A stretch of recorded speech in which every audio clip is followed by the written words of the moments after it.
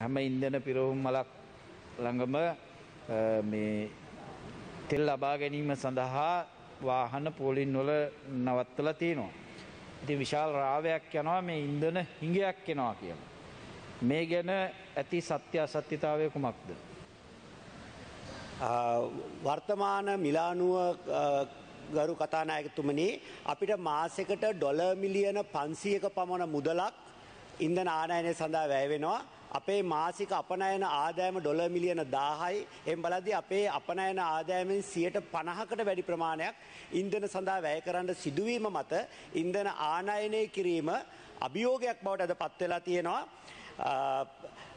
ඇත්තෙම අද තියෙන රටේ තියෙන ප්‍රශ්නේ ඉන්දන හිගයක්කත් ඖෂධ හිගයක්කත් සිමෙන්ති යකඩ විදුලි හිගයක්කත් නෙවෙයි.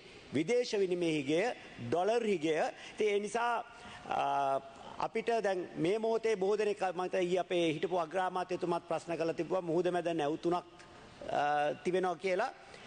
ගරු කතානායකතුමනි ගිය සෙනසුරාද උදේ අපි බැංකු ඇරගෙන ණයවරලිපි විවෘත කරලා අවශ්‍ය අර මුදල් ගෙවලා අපි සෞද උදේ ඉඳන් එක පෙට්‍රල් නැවක් බාණ්ඩ පටන් ගත්තා. ඊයේ පැවති හදිසි අමාත්‍ය මණ්ඩල රැස්වීම අතරතුරදී බාණ්ඩාගාර ලේකම්තුමා ලංකා බැංකුවට උපදෙස් දීලා ඩීසල් නැවත් අවශ්‍ය මුදල් ගෙවීම කර මේ වන විට ඩීසල් ගොඩබෑම ආරම්භ කරලා තිබෙනවා. තව පෙට්‍රල් නැවක් මූද මැද තියෙනවා. ඊයේ පැවති විශේෂ අමාත්‍ය මණ්ඩල රැස්වීමේදී ගරු මුදල් අමාත්‍යතුමා මේ මේවට අවශ්‍ය කරන විදේශ විනිමය ලබා දීමට පොරොන්දු වෙන නිසා අපිට ඒකත් ඉක්මනින්ම බාගන්න පුළුවන් වේවි කියලා බලාපොරොත්තු වෙනවා.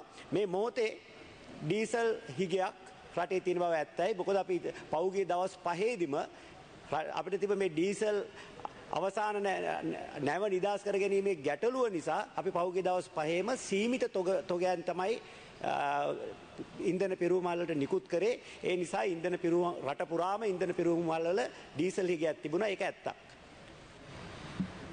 මගේ දෙවැනි අතුරු ප්‍රශ්නය තමයි කරු ඇමතුමනි දැන් ලෝක වෙළඳ පොලෙත් බොරතෙල් වල මිල ඉතා ශීග්‍රයෙන් ඉහළ යමින් පවතිනවා.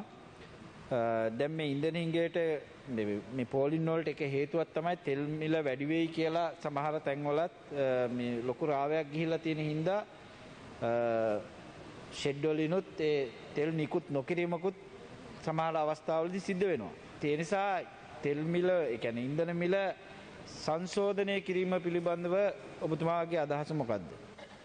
ගරු කතානායකතුමනි දෙසැම් පෙබරවාරි මාසේ පස්වනිදා එල්ලයෝසි සමාගම මිල වැඩි කිරීමත් දැවන්ත මිල වැඩිවීමක් ඉල්ලමින් තෙල් සංස්ථාව සභාපතිතුමන් දිගින් දිගටම ප්‍රසිද්ධ ඉල්ලීම් කිරීමත් නිසා බෝ ඉන්දන පිරුමල් වල දැවන්ත මිල වැඩිවීමක් කියන බලාපොරොත්තුවෙන් තොග සඟවා ගැනීමේ ප්‍රශ්නයක් මතුවෙලා තිබුණා එක ඇත්තක්.